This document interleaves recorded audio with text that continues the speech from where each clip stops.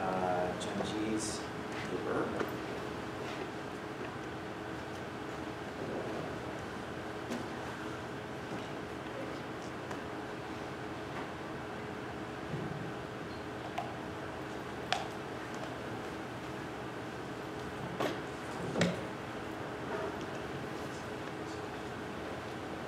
Um, hi everyone, good morning. Um, I'm Yating Li, uh, working with Kaiser, and also I'm, um, Junjie is actually on my committee. That's, um, I guess, why I'm picking up this last minute job. Um, I'm actually more an event organizer than like a really um, researcher style person, so I'm in charge of like taking pictures and videos and organizing all the hot pot events in the evening. Uh, if you are interested in any of those events or going to museums, you can contact me afterwards. Um, but I hope this would not be too suffering. And uh, this is an interesting paper itself, and I learned a lot uh, talking to Junjie this morning at 6 a.m. Uh, and he got on the plane at 7, so you will be able to see him around after this section, I guess. So this paper is about um, evidence from regional carbon uh, market pilots. It's a little bit different from what he originally planned in the um, what I guess um, the agenda because that paper got published, which is also a happy coincidence. So this is a different one, but it's going to talk about not really the national market. It's about the pilot that happened um, before this national market came into place. If you still remember um, CDM's like timeline from the very beginning, the national market was announced at the end of last year, and the pilot was announced um, very early at the um, October 29, 2011. So after that, at 2013, so China actually launched the pilots. There are seven of them, and this is going to be what's the evidence we learned from those pilots. I think it is important in the sense that we cannot learn anything about the national market at this point because it's all, you know, innovation and like high-level um, discussion designed by researchers like Junjie and um, Billy and Cilian. But at this point, we can already learn something from the past. So this is a paper about that. Um, in terms of what's the subject, this is about innovation. Okay, we know that um, from the past that this kind of market not only regulates and reduce emissions, but we also hopefully think that they're going to prom promote innovation. So that's the major topic of this paper. What's the motivation? Um, I was not listening too carefully to the previous um, talks because I was reading the paper. But there's, um, regarding to China's carbon market, there's one thing that's um, a little bit maybe different from other markets in the sense that China always wants to um, tackle different things all together or in a harmonious manner. So regarding carbon market, it not only kind of wants to reduce the carbon, but also in the sense that it really cares about what's the economic growth consequence. So it wants to do it cost effectively, but also wants to do it to maybe accelerate supply side, uh, supply side structural reform.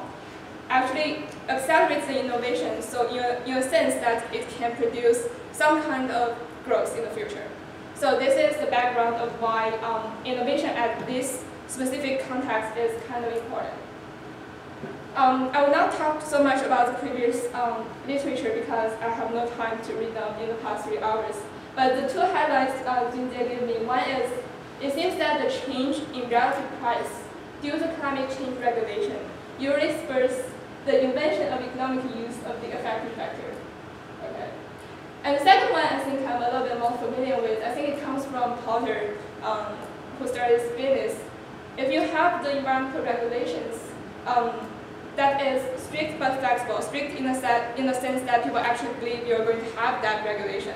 Uh, flexible in the sense that you are not really requiring that one single kind of know, um, appliance applica application. You're giving firms some kind of choice.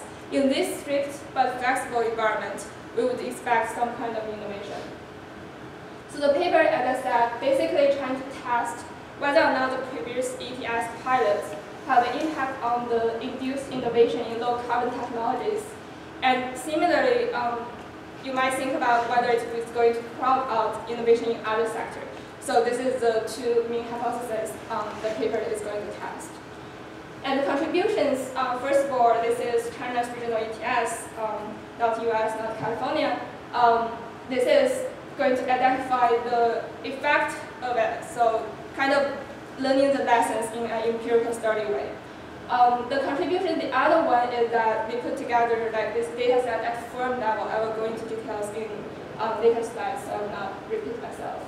Um, I think we have not covered this photo before in this section. So this is before the national one, where are the seven pilots located? Um, I guess I will just point out one important um, sequence of these um, pilots. First of all, there are seven, and they are all announced at the, um, as I said, October 29, 2011. Um, but they are not all launched, you know, on the first day of 2013. There's a sequence of them. And the sequence is actually pretty easy to remember because the first one is Shenzhen, which is also the first one that's uh, went through the reform and opening up back in 1978. Um, and then following it, um, usually in China we have this, um, what you call, you do a pilot or you do a pioneer thing, you go from Shenzhen, which is um, here, and actually go upward along the coast to the center of Beijing. Uh, that's also one of the major roads that if you want to become the president of China, um, there's two ways you can choose. One of them is you need to go from the bottom of the coastal area from Shenzhen and work your way up along the coast region because that's very developed.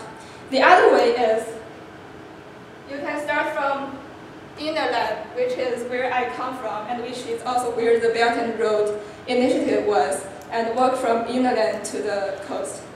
But anyway, so this gives you the different sequence. And because of that sequence, there's, we can do, um, we, I mean the authors can do the diff in diff and in diff analysis because of the sector and because of the sequence and because of the coverage of different um, locations.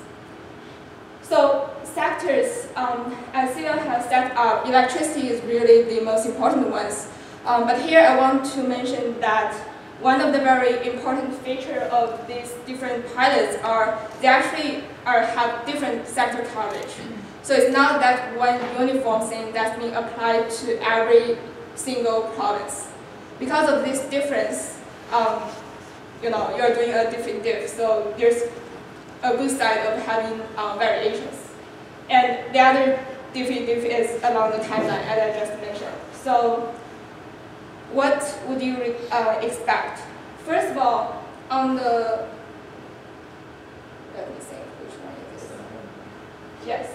On the right, if you start uh, with the right figure. Okay, um, when I was thinking through this, I was thinking about if you don't have any environmental regulation, okay, you start from very simple um, rationales. If you don't have any environmental regulation, what would you expect, right? Because environment or carbon kind of thing are externalities, right? We usually think firms are not going to take into account by themselves. So we basically trying to guess that you know, treaty sectors, which are the ones that emit a lot, would not have lots of you know, low carbon patents uh, in comparison to the control uh, sectors. Okay. Uh, this is in the this is in the non-ETS zone. So if there's no regulation, this is what's uh, the what's the word? This is what the uh, other parallel word would be. Okay, and this is the one in the ETS zones. This is the one that's under control.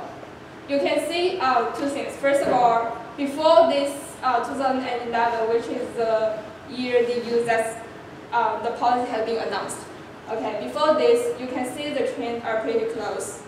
And then after, it seems that in the ETS zones, the trading sectors and the are um, kind of like catching up with the um, control sectors.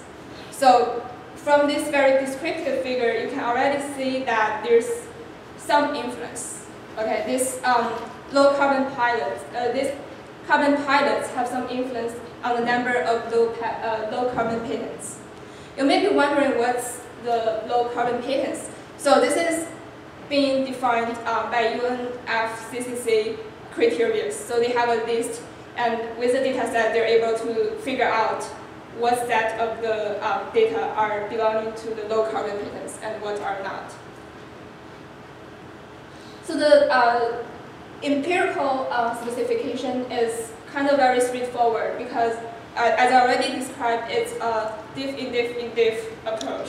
So here you have um, Y, which is the patent um, applications, which is the number of the applications. And this is, as I said, um, defined by the UNFCCC um, criteria. And there's the main um, part of the specification, which the first one is whether or not it's in the pilot region. Okay, so whether or not it's in the seven. Um, the sector is whether or not it's the sector listed in that in that long table I showed earlier. Um, and the post, this is this describes you know the time frame. Um, what's the time that you start to have that um, regulation in place? And the controls are obviously very important. Uh, here uh, they control the capital cash, revenue, debt, net, sales, and profits. So just one caveat: these are all public listed firms because they need to control something and only the information for these firms because they're financially traded um, are actually available. So this is more a data availability issue.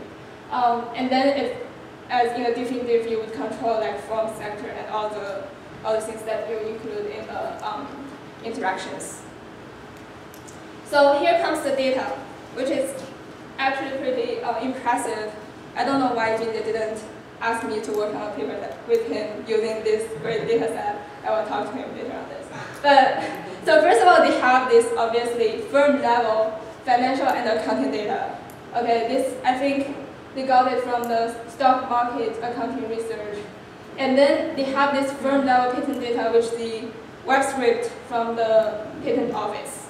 And I think the most magical part is they are actually able to match the data together. Usually with the name of Chinese firms and you know, all the characters there and they're not always described as the same name, it's very hard to merge them together. But somehow they are able to do this. So this is very impressive data set putting together and here is, uh, here is the main result. So in the baseline model, because it's a diff in diff in diff, you can say that what you what matters most are these coefficients. Um, and here are all the controls and number of observations. Uh, this is the year um, by year, so it's um, the, firm, the number of firms multiply um, all the years. So the first column is what happens to the environmental patent. And the basically, the most important thing is the sign is significantly positive, which means the fact that there's um, carbon market pilots makes the firms in these sectors in that place having more patents over time compared to those uh, in a non-regulated place. Okay, I'm not sure my explanation of definitive uh, coefficient is exactly right. But basically you can think about, okay, you're comparing these two regions in and out of the carbon market and you're comparing firms before and after in and out of the sectors um, because of the dimension it's a little bit hard, but basically it is positive. And when you move to, to the second column, which is um, the non-environmental patent, okay, these are not the target of this policy. So you would, you would almost already guess that there should not be an effect. If there's an effect, maybe there's something wrong with your regression. Um, so here, gladly, um, there's no effect showing up for the non-environmental patents. And the last one is just the ratio um, between the environmental patent over the, I think it's over the total patent. It's just showing the intensity or the share of environmental patent among all the patent is also growing up with this carbon market innovation. So basically, I think usually you could just stop here, but because it's an economist, economic paper, it have to have all the other things that's following. So now it comes. Um, the first caveat is, some of you might know, I guess, and Junjie actually maybe published this paper too. Um, it's, although these are the pilots, they are not, they are not all true pilots in some sense. So they are not, you know, active um, tradings and really, um, you know, strict um, enforcement. Some of them um, turned out to be more or less fake, which is uh, you can show here using the turnover rate. You know, the, the volume, the trading volume on the market in share of the total allowance is pretty low. And in some of the cases, there's even the rumor that they basically have a firm which is faking all the tradings. So given this, you might not just want to use that, you know, a dummy variable for whether or not it's a common um, trading region.